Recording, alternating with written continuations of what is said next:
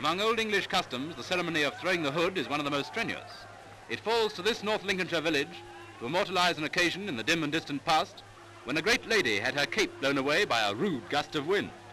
Several labourers rushed to capture it, and every year since they've been repeating the performance. The village fool plays a leading part in the show, and they make it pretty warm for him. And then the battle royal. The hood, which looks something like a leather truncheon, is thrown to rival teams of would-be knight-errants. And the idea is to rush it to the local.